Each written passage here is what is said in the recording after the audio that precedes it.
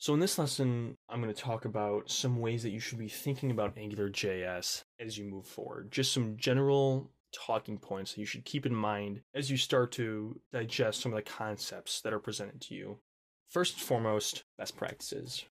AngularJS is built around encouraging the developer to utilize best practices. Best practices lead to cleaner code, they lead to better performance in code, to better testability in code, all of these things are going to happen if you use the best practices provided to you in Angular. But what does best practice actually mean? It's an often used term, but it's a very general way to describe it. So, first of all, model view whatever separation. This means, exactly as we discussed before, using the model, view, and whatever the third component is. Is it a presentation layer? Is it a view model layer? Using that appropriately. Nothing in the view should be in the presenting layer. Nothing in the presenting layer should deal with the model in an inappropriate way. Compartmentalizing it in appropriate ways is always a best practice.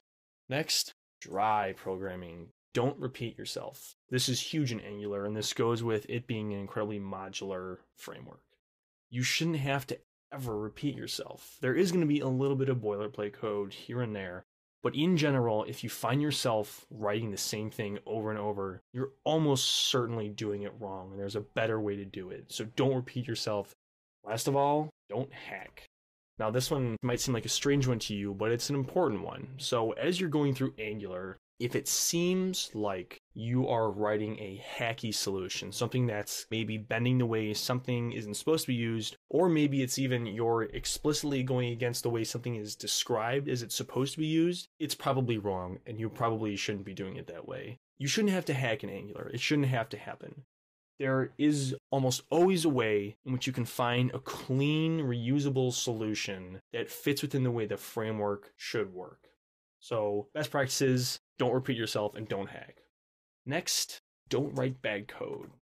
Now, this one seems like it's a little redundant, but there are some differences. It's easy to write bad code in Angular, and this might seem weird, but until you understand a lot of the concepts fundamentally, you might find that you're leaning on certain abilities in a controller or something in the view. You seem like you're leaning on something in a way that you shouldn't. And this is very common make sure that the performance of your code is something to keep in mind because it can get bad quite quickly and you will notice as, as your application begins to scale. I mentioned this before, but it's worth going over as part of the bad code section reusability.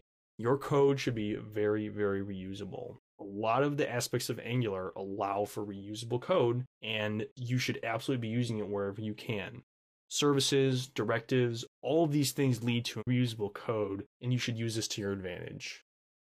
Finally, don't try to fit a square peg into a round hole.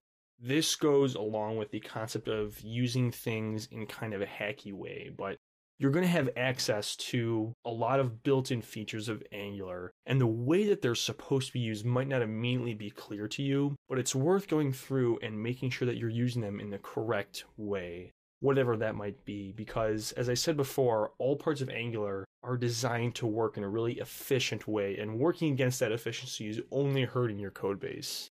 Next, test. Testing, as I've mentioned, is huge in Angular. Write your tests.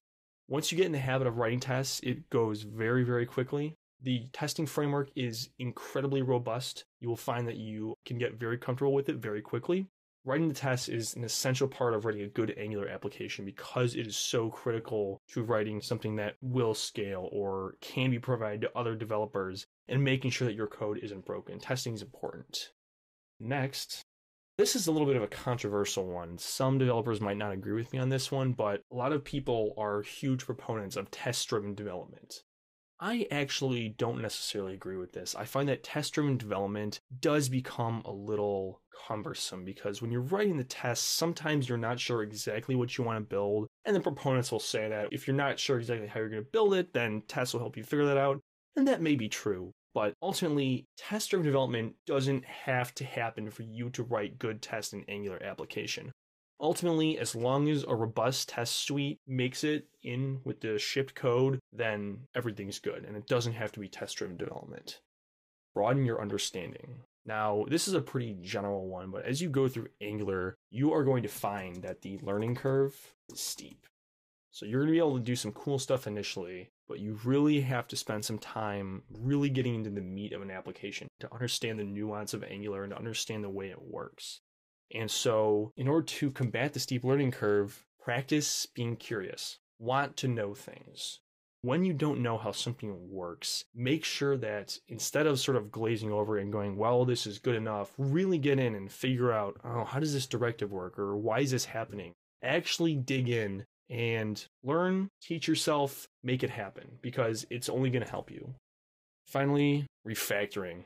You're going to find as you get better with Angular, you're going to want to refactor a lot. As you get more comfortable with best practices and whatnot, refactoring is going to become a big part of what you're doing. I recommend this a lot because refactoring your code teaches you a ton about how Angular works. It makes you a better developer. It gives cleaner code. There's no reason to not do it. So refactor all the time as it can only help you.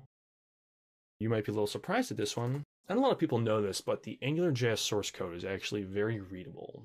In the 1.2.0 release, it's about 20,000 lines long, and that may sound like a lot, but there's actually a really outstanding set of comments in there. About half, I'd say, is commented code. It's really good and it's worth reading through. I highly recommend it. It's definitely very consumable. And if you're stuck on something, then I certainly recommend going to this section where that's actually using and reading through the source code. Actually get into it. It really helps you understand how Angular works. Something you'll find out very quickly error messages are bad in Angular. This is something that the core team is working on all the time, but the error messages are awful. For now, the error messages are not going to help you out very much, and so reading the source code can help you a lot when you're really stuck on an error. And finally, dissect the source. And you can take this to mean pretty much however you want. Dissecting the Angular source code is going to broaden your understanding in ways that you can't imagine. Learning how providers actually work, how dependency injection actually works, is very difficult and it will take some time. But ultimately, it's going to make you an expert Angular developer, and I highly recommend it because the source code is very, very good, and this is not always the case take advantage of the quality of the source code and really dig into it. So these are some things that are going to help you think in the right way about AngularJS going forward.